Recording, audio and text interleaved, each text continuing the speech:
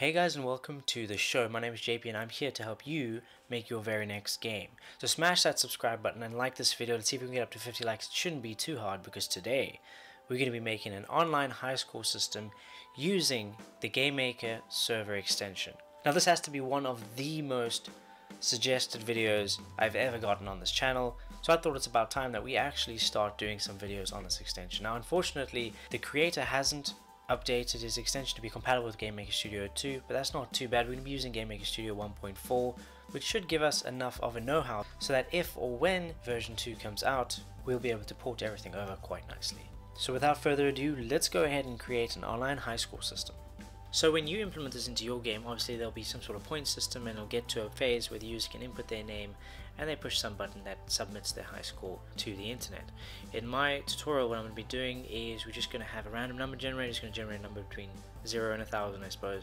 Then the user can input their name and click save and that'll do every request we need to do and automatically redirect them to the wall of fame where they can see how well they did compared to their friends. So here we have a main menu. If I go wall of fame, it's going to take us to the wall of fame. As you can see, QWERTY has 968 points and Asdazd has 402. So you can decide how many high scores you want to view. Ultimately, when you query for high scores, it's going to give you all of them. You can limit it on the GameMaker end, which is okay. Um, so if I go back, let's go ahead and create a new score and in clicking new score it's going to generate a random number which I spoke about. In this case it created a score of 604 points. I'm going to create my name as uh, let's say new guy. And I'm going to go ahead and say save. Oh it says invalid name. I think it's very sensitive about uh, characters. Like you can't use special characters like this. And I think spaces is one of those. I'm going to try to find the documentation that stipulates what is a special character that you can't submit. In this case, let's just make it one word. Cool. Alright, so it put it in. If we go down on this list, as we can see, new guy is second from the bottom over there, but he is in fact in the high score. Now in order to do this I'm going to be using an extension called GameMaker Server. A lot of people have been asking me to explain it to them because there are some concepts in it that are a little complex. Online high scores is only a small part of it. It's what we're going to be doing today. If this video turns out to be rather successful, then we're going to be showing everyone else how to do some other cool GameMaker server things. So first things first, head over to your browser and go to GameMakerServer.com. If you arrive at the right place, you'll find this. It has a little description about how many developers are using it, um, how many accounts created in games. Go ahead and register for an account. You can do so by clicking login and saying register. It's going to require username, password, email, things like that.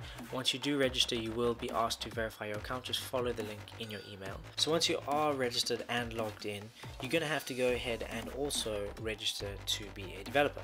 This gives you access to APIs and all the extensions and toolsets that you'll need to then use the system. Now once you've done all that, you can go ahead at the top, hover over developer and register a game.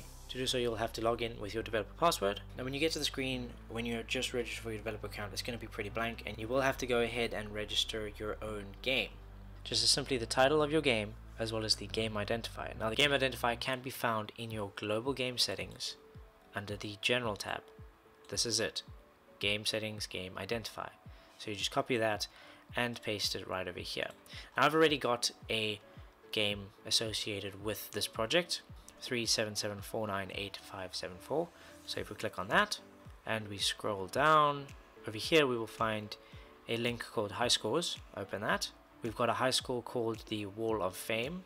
You can add a new high score as simple as this and you can choose how it is sorted. If I click the Wall of Fame, it should give me a high score list ID. Now we need to remember this because this is the ID we're going to be using to tell GameMaker Server which high score to add our players to. And if I scroll down on this, you'll notice these are all the high scores that we saw in our list over here. Now notice that these high scores in this list on the browser say guest underscore. What I've done is I have requested all these high scores. I did get them with guest underscore. I've just taken away the first few characters to make it a little cleaner.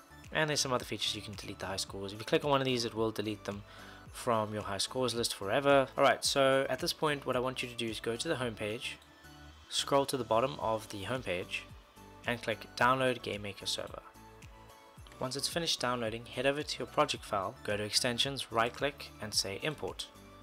Locate the downloaded file, GameMaker server 2.0.1, head over to extension, and here at the bottom right you need to select GameMaker legacy extension. I'm going to select the Windows one and say open. Alright, so now we have everything we need to get this thing going. Alright, so now that you have downloaded your extension and added it to your game, I want you to go over to documentation where you'll find an awesome doc under getting started that'll help you get started. I'm going to be running through this doc in my application and summarizing basically everything there is inside the startup guide. So now that we have registered with GameMaker Server, registered as a developer, created a game, created a high score, and downloaded and added the extension, I'm going to run you through what we've got over here. So in our sprites, we've simply got some buttons. Nothing too fancy, this one saves the score. This is the input box for the name of the player. This is the back button, this is the wall of fame main menu button, and this is the new score button. Next up I've got two backgrounds, the main and the wall of fame, just has a heading basically. Under fonts I've got font score, font input and font small. Each of these is used for different things. This font score is used when we generate the score.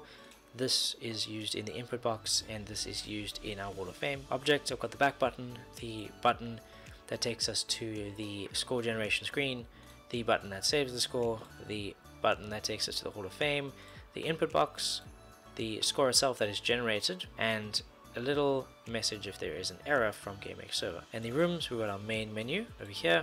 We've got our score room over here. So here we have the object score, which generates the score and displays to the screen. We have the input on the left and the save score button on the right. Bottom left, we have the back button. And then the high score screen, simply just this room with nothing much going on here and the back button. Okay, so according to the documentation, we've got to create a game object called GMS. I suppose it stands for Game Maker Server. It needs to be visible and persistent, doesn't require a sprite, and it needs to use a create event, a step event, a game end event, a networking event, asynchronous networking event, and a draw event. Also, we need to set the depth to something ridiculously high in negatives. I'm going to do this at 100,000 and it needs to be persistent. So it exists throughout a game and only is destroyed when our game ends. In the create, I'm going to add some code.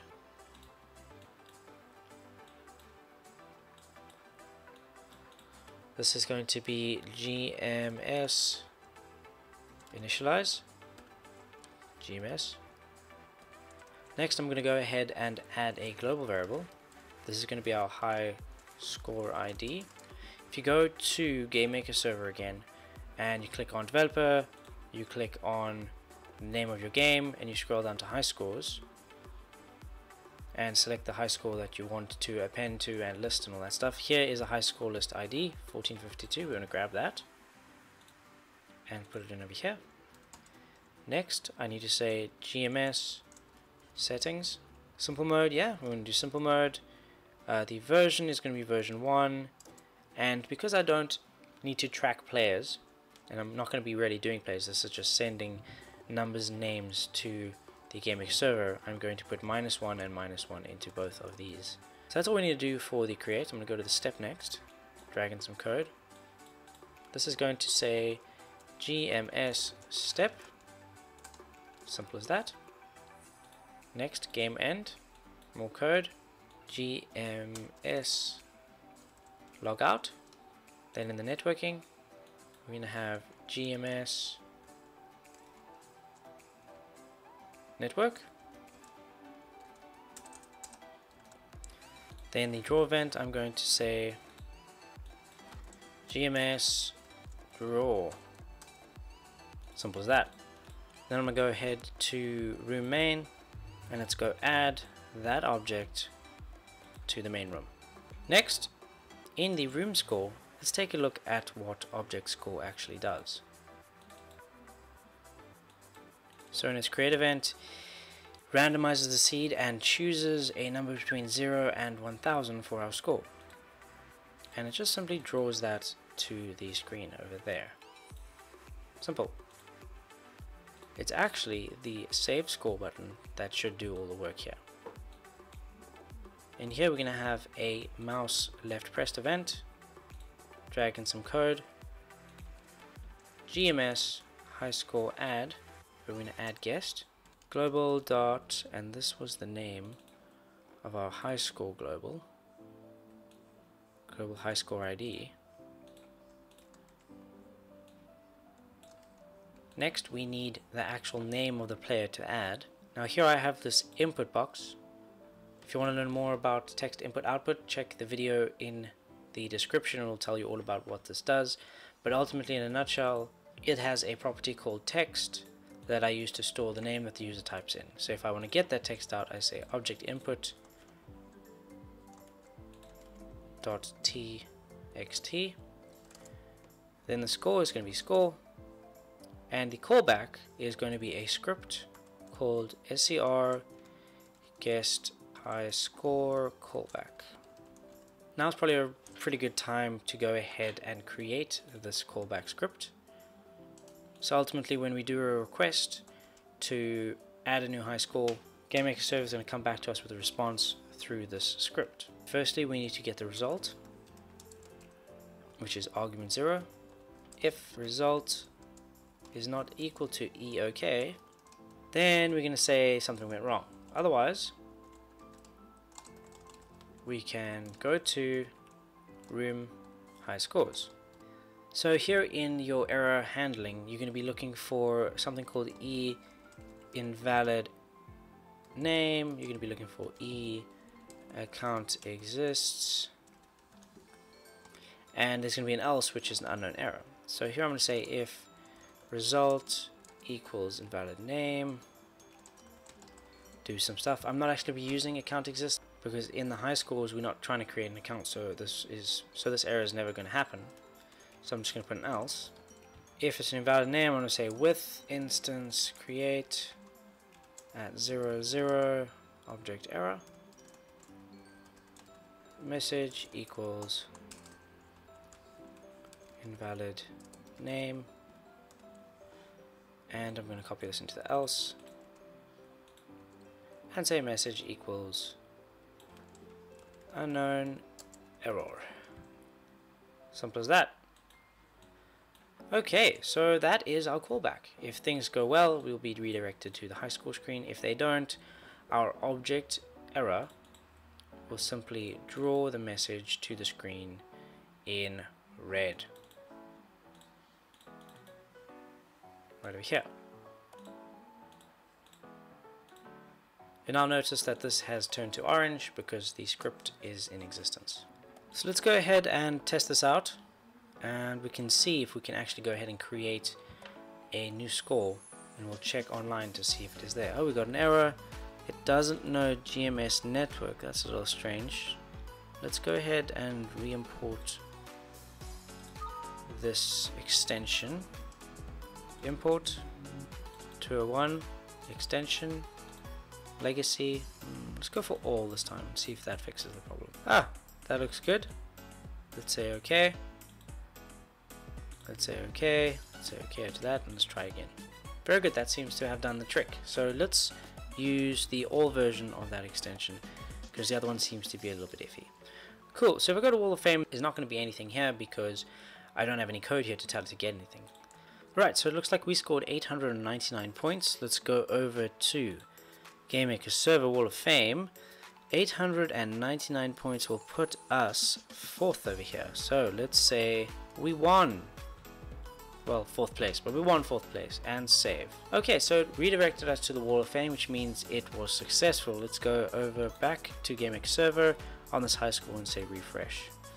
And see if we can see this brand new score. And there it is, guest underscore we won 899 points. So that is phase one of this video. We're now able to save our new high scores. We can distribute this quote unquote game to our friends and let them basically generate as many high scores as they want and give them names. So next thing, let's make sure that when we go to this wall of fame, it displays all of these guys. Now there are quite a lot of these here, 1, 2, 3, 4, 5, 6, 7, 8, 9, more than 10.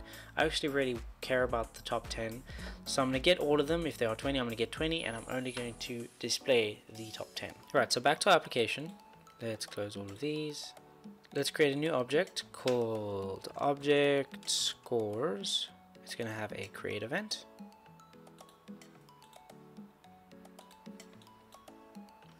Now I need to know how many scores there are. So scores count equals GMS high score count and the list ID again is this.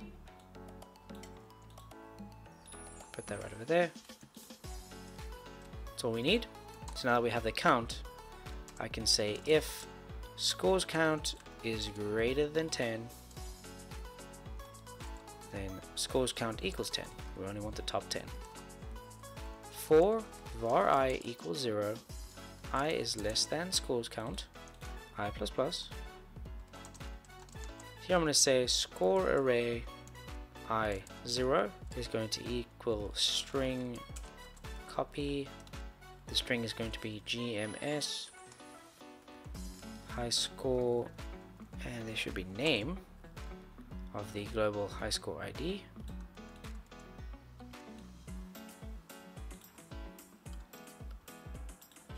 And the ith value of that list. And I'm going to say index at 7, so that's the start. Basically here what I'm doing is I'm getting rid of the guest underscore, which is from 0 to 7. So we're getting the name of the string, well, so we're getting the string we want to manipulate, which is the whole name, which includes the guest underscore. We're starting at index 7 and we're going ahead and heading to the length of this name and we can finish that off with the remaining brackets. Cool. So that gives us the name without the guest underscore. Next thing, score array i1 is going to equal simply gms high score score and then we can copy this bit there and done so this is going to give me an array that'll look something like 0 Billy 0 and then a score and then the next one will be 1 Sam